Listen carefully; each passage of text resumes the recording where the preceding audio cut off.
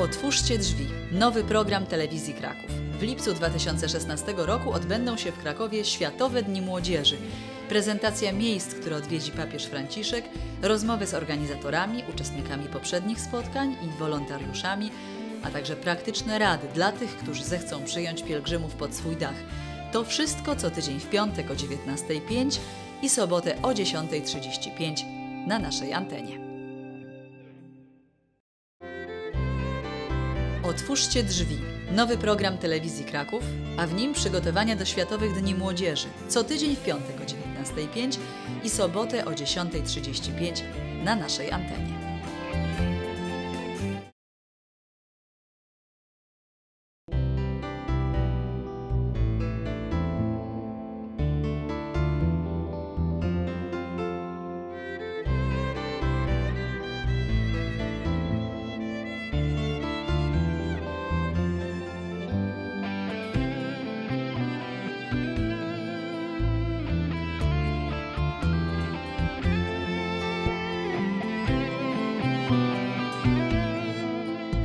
Krakowskie Błonia to tu podczas pielgrzymek do ojczyzny Ojciec Święty Jan Paweł II spotykał się z tysiącami wiernych. Raduje się moje serce waszym widokiem, waszą młodością i entuzjazmem.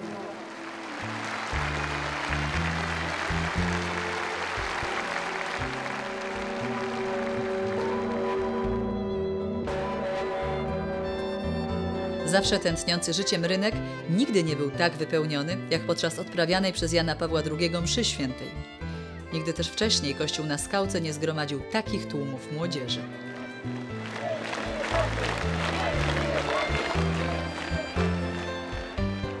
Jakby się kto pytał, Franciszkańska 3. Kiedy wieczorem Ojciec Święty wracał do swojego dawnego domu, długo nie mógł odpocząć. To ja jeszcze powiem. W tym Rzymie też nie tak łatwo być tym papieżem, ale w Krakowie to by się już całkiem nie dało.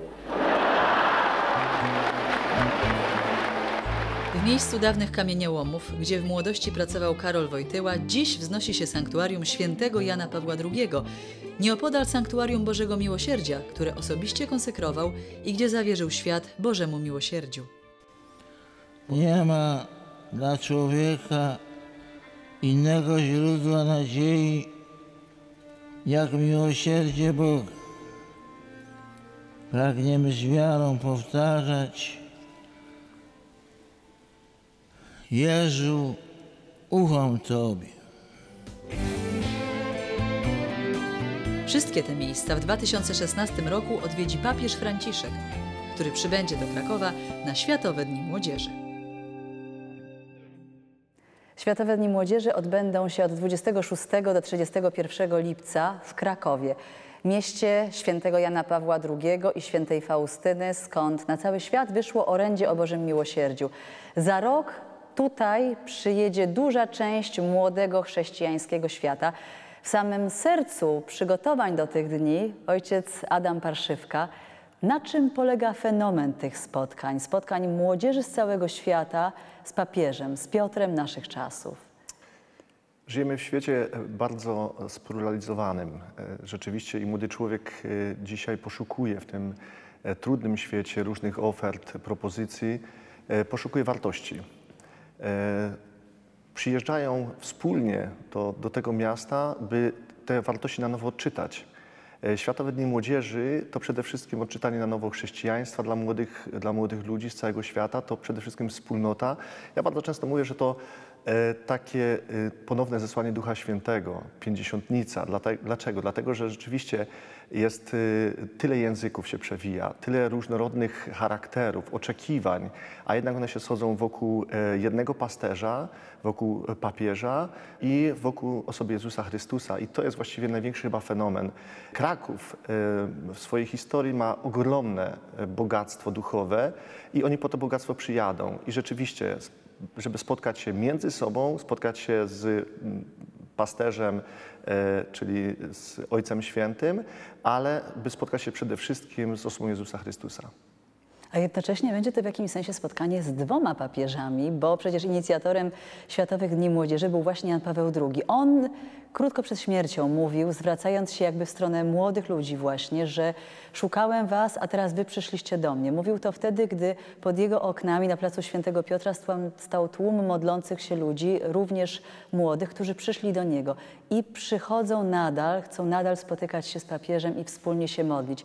Czy to oznacza, że papież również w dzisiejszych czasach może być dla nich autentycznym autorytetem, przewodnikiem po życiu dla tych młodych? Y, Jest takim autorytetem. Niewątpliwie wiemy doskonale, jak mm, świetnie y, y, papież Franciszek rozmawia z młodymi, mówi ich językiem, ja bym powiedział bardzo trafiającym, bardzo, nie chcę powiedzieć, że prostym, ale takim językiem, który, który młodzież lubi, który rozumie.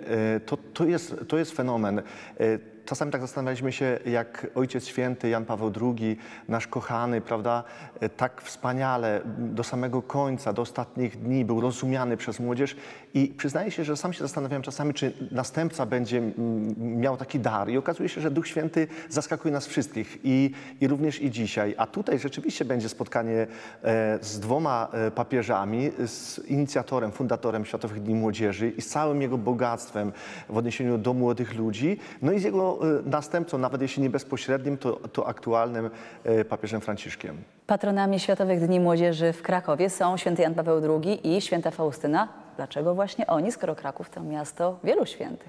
Jan Paweł II to przecież fundator e, Światowych Dni Młodzieży. E, to e, święty, który można powiedzieć tak był blisko młodych ludzi i również chronologicznie w czasie musimy pamiętać przecież, że czy również beatyfikacja, kanonizacja i cała jego posługa to jeszcze dla starszej młodzieży czas nie przeszły, tylko można powiedzieć aktualny. Siostra Faustyna niewątpliwie dla nas wszystkich tutaj jest odniesieniem do tej duchowej e, spuścizny Miłosierdzia Bożego i tutaj przyjeżdżają pielgrzymi z całego świata. E, Jest e, tu wielkie zainteresowanie i Bożym miłosierdziem, a więc potrzeba tego Bożego miłosierdzia i oddziaływania e, dla człowieka. Nigdy nie możemy zapomnieć, że e, Łagiewniki, Kraków to stolica światowa Bożego Miłosierdzia.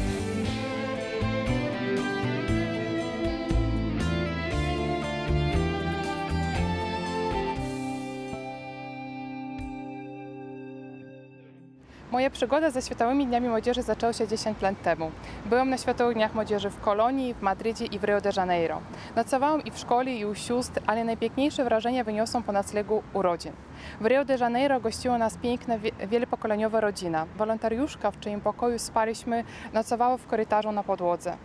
Te rodziny, które nas przyjmowali, nie tylko dawali nam dach nad głową, e, kawałek jakiegoś ciasta rana i ciepłą wodę, ale najważniejsze dawali nam całe swoje serce.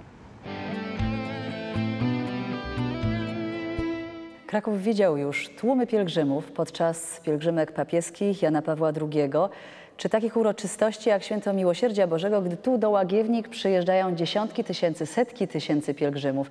Ale za rok podczas Światowych Dni Młodzieży będzie ich nawet kilka milionów i to do nas będzie należało przyjęcie tych niezwykłych gości. Z nami pani Marzena Kaczyńska, koordynatorka sekcji rejestracji i przyjęcia pielgrzymów Komitetu Organizacyjnego Światowych Dni Młodzieży. Jakie warunki trzeba spełnić, jeśli chcemy przyjąć pod dach młodzież Światowych Dni? Tak naprawdę wystarczy życzliwość i otwarte serce. Y, Nie trzeba mieć specjalnych warunków. Y, Chcielibyśmy tylko prosić, y, aby rodziny dysponowały minimum trzema metrami kwadratowymi dla jednego pielgrzyma i minimalna ilość przyjęcia pielgrzymów to y, dwie osoby. Czyli nie może być to jedna osoba i nie trzeba zapewniać specjalnych łóżek dla gości. Nie, nie trzeba. Pielgrzymi będą mieli ze sobą karimaty, a także śpiwory, także wystar- wystarczy tylko miejsce y, na podłodze. A jakie są zasady regulujące pobyt gości e, w naszym domu? Czy można poprosić, żeby to były na przykład dwie kobiety z Europy? Generalnie y, na y, deklaracji, którą składamy w komitecie y, parafialnym, można oczywiście wpisać własne preferencje. Będą na pewno uwzględniane y, preferencje dotyczące płci. Natomiast jeśli chodzi o narodowość czy kraj pochodzenia, nie zawsze będzie możliwość, żeby uwzględnić te y, oczekiwania. A w komunikacji, co mogą zrobić krakowianie, którzy obawiają się bariery językowej, bo przyjedzie młodzież z całego świata, ktoś może chcieć ich ugościć, ale nie znać języków obcych. Przy każdej parafii y, będzie zespół wolontariuszy, którzy będą potrafili rozmawiać w języku y, pielgrzymów, którzy zostaną skierowani do danej y, parafii, także na pewno y, pomogą. A czy gospodarz musi być w domu i oczekiwać cały czas na powrót młodzieży, czy musi udostępnić klucze? Absolutnie nie. Pielgrzymi będą mieli cały dzień zajęty przez organizatorów Światowych Dni Młodzieży, także wystarczy tylko nocleg.